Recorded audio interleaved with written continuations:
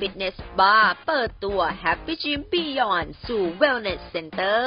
เรียกได้ว่าเป็นศูนย์บริการด้านสุขภาพครบวงจรมาตรฐานระดับโลกในรูปแบบ Community Mall แห่งแรกย่านถนนเทพรักษ์วัชรพล บนพื้นที่กว่า 5,000 ตารางเมตร ด้วยงบลงทุนกว่า 100 ล้านบาทสำหรับการเปิด Happy Gym Fitness Bar กับการเปิดตัว Happy Gym Beyond s u Wellness Center Community Mall มีทั้งสถานบริการออกกำลังกาย คลินิกกายภาพบำบัดพร้อมทั้งพื้นที่สำหรับร้านค้าและบริการต่างๆ เพื่อให้ลูกค้าได้รับความสะดวกสบายอย่างครบวงจร วันนี้มันเป็นวันเปิดเอ่องาน Grand Opening ของ Happy Beyond ซึ่งเป็นยิมที่เป็นขนาดใหญ่ที่รวม DNA ของคนที่รักเทรนการออกกำลังกาย เทรนการดูแลตัวเองนะคะ เพื่อให้เรามีสุขภาพที่แข็งแรงขึ้นต่อไป ซึ่งเรื่องนี้เป็นการลงทุนแล้วกับคนรักตัวเอง ตรงนี้เป็นจุดรวมทั้งเรื่องของ entertainment ต่างๆ จุดเรื่องของออมีครบวงจรทั้งสปาคลินิกร้านกาแฟนะคะ กายภาพแล้วก็ศูนย์ดูแลรถยนต์ต่างๆ รวมมาที่จุดนี้ ซึ่งเป็นจุดบริการครบวงจรเกี่ยวกับแฮปปี้ยิมซึ่งประมาณว่าเหมือนกับแฮปปี้ยิมเอนเตอร์เทนเมนต์เลยว่างั้นนะคะ ตรงนี้แล้ววันนี้ คนที่ออกกำลังกายกับเราบ่อยที่สุดนี่จะเป็นคุณเด่นคุณบ้านหลัแล้วงก็ที่สอง พี่นกเป็นไงครับบ้านหลังที่สองเจอกันประจำเจอกันประจำเป็นไงบ้างมาที่แฮปปี้ยิมบิยอนก็คุณเด่นผคุมณ เนี่ยถือว่าเป็นรุ่นบุกเบิกของ Happy Gym เลย จ้ะ เพราะว่าผมค่อนข้างที่จะออกกำลังกายมาตั้งแต่เด็ก แล้วก็ให้ความสำคัญเรื่องร่างกายที่แข็งแรง เพราะว่างานที่เราต้องทำต้องมีพลังที่จะอ่าส่งไปถึงทั้งตัวละครที่เล่นกับเรา หรือคนดู ไม่ว่าจะเป็นนักร้องหรือว่าอะไรก็ตามต้องมีจ้ะร่างกายที่แข็งแรงและ ที่ Happy Gym เนี่ยก็ค่อนข้างตอบโจทย์มากเพราะว่าเขาจะเหมือน Avenue อ่า เป็นมีทุกอย่างให้รองรับให้เรา แล้วก็ทุกคนเหมือนครอบครัว ใช่ พี่อุ้ม พี่แมน หรือว่าเทรนเนอร์ทุกคน และเทรนเนอร์ที่นี่คือเก่งมากด้วยใช่ครับ ก็คือสมมติผมขาดขาดเหลืออะไร ผมก็จะถามเทรนเนอร์เขาก็จะค่อยๆเติม และตัวผมเองผมด้วยความที่ผมเป็นรุ่นบุกเบิก เล่นมาที่นี่ตั้งแต่รุ่นแรก ๆ เลย รู้ตั้งแต่ชั้นเดียวเนาะใช่ แล้วแล้วเวลาเวลาสมมติใครมาเล่นอ่าใครมาเล่นอย่างเงี้ยผมเห็น ว่าถ้าถ้าแบบยังแบบพอไม่ดีผมก็จะแอบเดินเข้าแบบพี่อ๋อเทรนเนอร์ ใช่คือเราเทรนเนอร์คือเราจะคุยกันเราจะคุยกันแล้ว เราก็คือก็คือก็อย่างที่บอกว่าที่นี่จะเป็นครอบครัวกันเลย ก็คือทุกคนก็คุยกันสนิทกันไม่ว่าจะเป็นคนที่มาเล่น คือไม่ได้ถือตัวว่าใครเป็นใครอะไรอย่างงี้คือทุกคนคือเป็น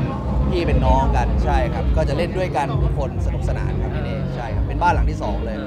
เขาน่ารักด้วยจริงๆคุณเด็กเขาก็น่ารักด้วยคือดูแลแม้กระทั่งเอ่อเมมเบอร์ท่านไหนที่มาเล่นเองแล้วไม่ถูกต้อง เดินเข้าไปหาเองค่ะแต่ว่าเราแต่ว่าเราได้ได้สนิทกันอยู่แล้ว ได้ใช่คุยกันใช่กับเขาน่ากับรัเมกมเบอเขาร์น่ารักค่ะใช่เรื่องอะไรเนี่ยไม่อยากจะพูดพี่นกก็ทำไร่ทำนาเป็นเป็นประสบการณ์ใหม่ ๆ เลยที่พี่นกได้ออกกำลังกาย และพี่นกเสียดายมากๆ แล้วอยากจะบอกทุกๆคนเลยนะขอให้ออกกำลังกายเถอะ คือพี่นกบอกก่อนนะ ตัวพี่นกเนี่ยมีปัญหาพี่นกจะปวดขา มาประมาณสัก 20 กว่าปี แล้วพี่นกปวดขาปวดหลัง แล้วพี่นกมาที่เนี่ยนี่คือเรื่องจริง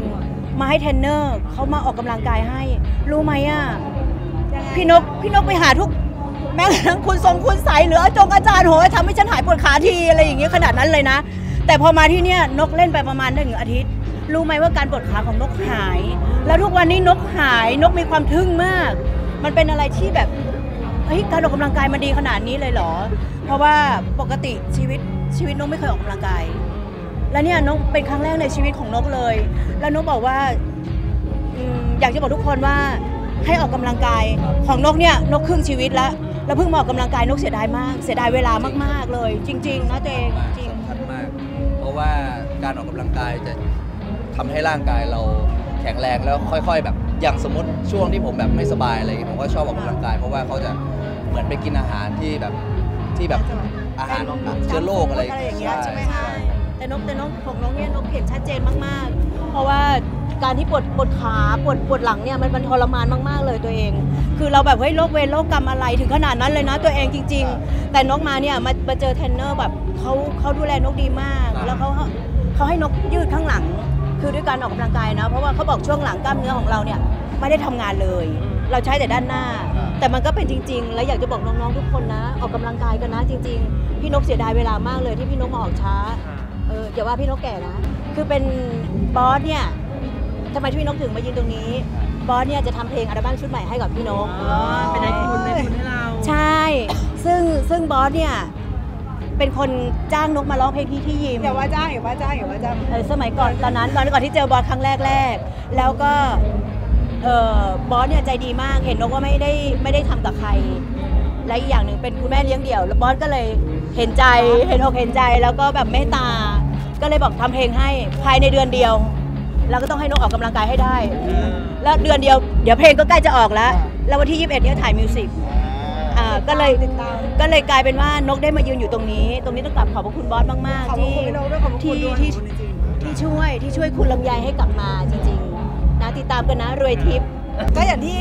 พี่เด่นคุณแล้วก็คุณเด่นคุณแล้วก็ทางพี่นกนะคะ แจ้งไว้ก็คือว่าเรื่องของการออกกำลังกายจะเป็นเรื่องที่รู้สึกว่ายาก แต่ว่าเวลาเราได้ทำเนี่ยร่างกายเราจะได้รับความกระปรี้กระเป๋า แล้วก็อีกเรื่องหนึ่งคือมันเป็นเคสสำหรับการที่ดูแลสุขภาพโรคภัยแก่ต่างๆเนี่ยจะน้อยลดลงไป ลองทำดูเชื่อทั้งสองท่านที่พูด คแล้วก็ลองแค่ขยับก่อน แล้วก็ทำให้ร่างกายเราสดชื่น เพราะนั้นเนี่ยเราจะดูแลคนรอบข้าง ธุรกิจของเรา แล้วก็เพื่อนร่วมงานของเราได้ดีตลอดไป เพราะว่าเราเป็นคนที่รักตัวเองนะคะ คนออกกำลังกายคือคนมีวินัยและคนรักตัวเองจ้ะเป่าด้วยกับแฮปปี้บิยอนนะจ๊ะ